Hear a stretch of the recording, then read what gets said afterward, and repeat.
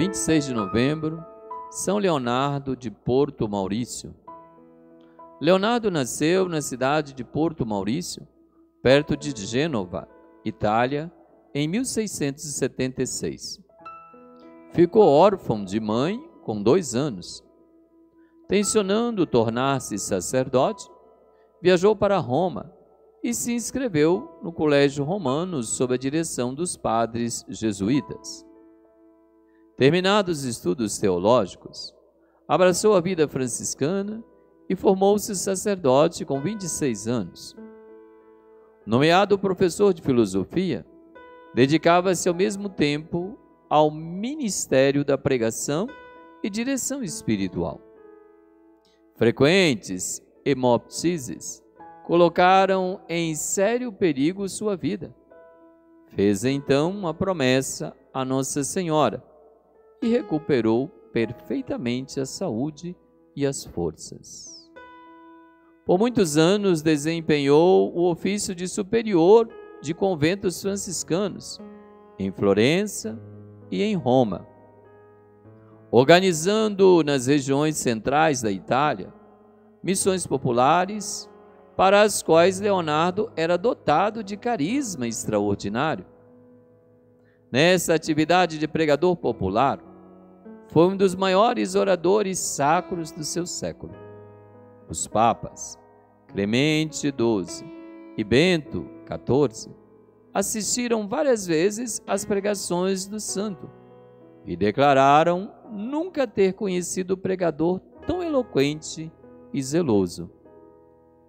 Uma das características de sua pregação era levar os fiéis a uma grande devoção à paixão e morte de Cristo pelo exercício da via sacra.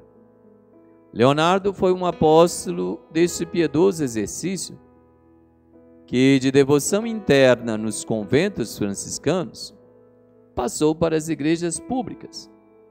Este santo erigiu a via sacra com especiais pregações a cada estação em 575 igrejas. A mais conhecida cerimônia penitencial da Via Sacra foi no Coliseu em Roma, no ano santo de 1750. Desde então, o Papa costuma fazer a Via Sacra nas Sextas-feiras Santas, neste histórico monumento. Outra importante devoção que pregava entre os fiéis era a do Sagrado Coração de Jesus, em forma de hora de adoração ao Santíssimo Sacramento da Eucaristia. Leonardo era também modelo perfeito de virtudes, que procurava implantar nos corações dos ouvintes. Possuidor do espírito de São Francisco de Assis, era amigo apaixonado da pobreza.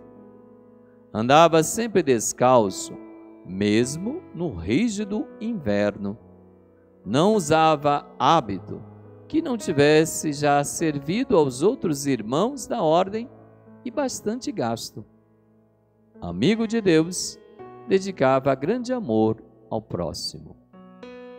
Durante as missões, permanecia no confessionário o dia todo, sem tomar alimento ou se permitir um descanso. Leonardo faleceu no dia 26 de novembro de 1751 em Roma. Oremos. Ó Deus Todo-Poderoso e cheio de bondade, que fizestes de São Leonardo notável mensageiro do mistério da cruz, concedei por sua intercessão que, reconhecendo na terra as riquezas da cruz de Cristo, mereçamos alcançar nos céus os frutos da redenção por nosso Senhor Jesus Cristo, vosso Filho, na unidade do Espírito Santo. O Senhor esteja convosco. Abençoe-vos o Deus Todo-Poderoso, Pai e Filho e Espírito Santo. Levai a todos a alegria do Senhor ressuscitado. E de em paz, e o Senhor vos acompanhe.